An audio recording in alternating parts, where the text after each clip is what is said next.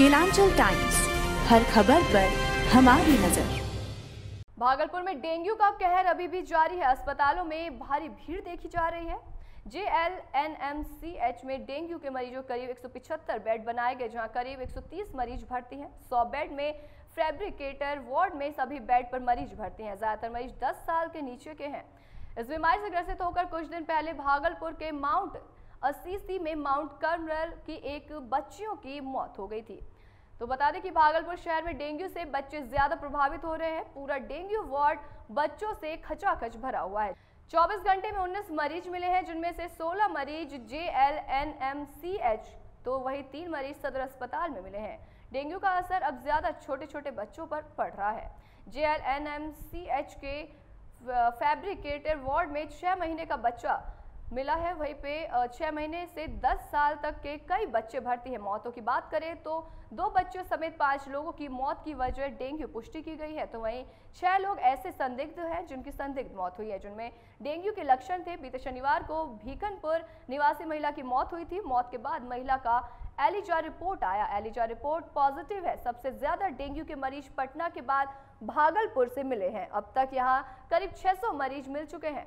JLNMCH के ICU में dengue से पीड़ित एक जज का इलाज तो वहीं फैब्रिकेटेड वार्ड में डीपीआरओ की पत्नी का इलाज चल रहा है। जिलाधिकारी के कड़े होने के बाद इस शहर में फॉगिंग अब सही तरीके से कराई जा रही है। शहर में इतने मरीजों के मिलने की बड़ी वजह नगर निगम का उदासीन रवैया लग रहा है, जहाँ पे जगह जगह जल जमाव हो रहा है। फॉगिंग नहीं कराए जाने से डेंगू का प्रकोप बढ़ा है। तो वहीं जिलाधिकारी सुब्रत कुमार सेन ने कहा कि मायागंज अस्पताल और सदर अस्पताल दोनों में डेंगू बीमारी को लेकर बच्चों की संख्या बढ़ रही है, लेकिन व्यवस्था भी दुरुस्त है। बारिश के चलते ये मच्छर जनित बीमारी लोगों में फैली है, लेकिन इसके रोकथाम के लिए स्वास्थ्य विभाग पूरा प्रयासरत है।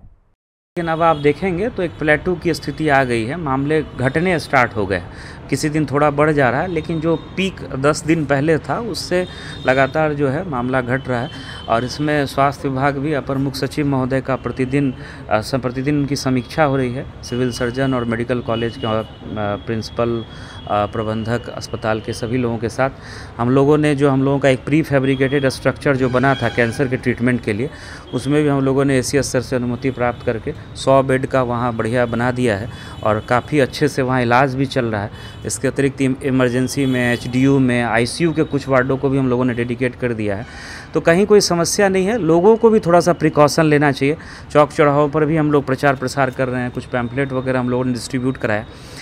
डेंगू मरीजों अभी तो करीब करीब 100 प्लस पेशेंट भर्ती हैं हमारे यहाँ।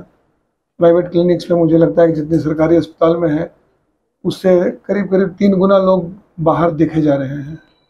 रिकॉर्ड्स की अनुपलब्धता है, लेकिन अगर सरकार थोड़ी कोशिश करे, सिविल सर्जन साहब अगर कोशिश करें तो जो स्थानीय लैब्स होते हैं, जाँच घर वाले, वो लोग डाटा दे सकते हैं कि कितने लोगों को उन्होंने एन एस वन किया पॉजिटिव।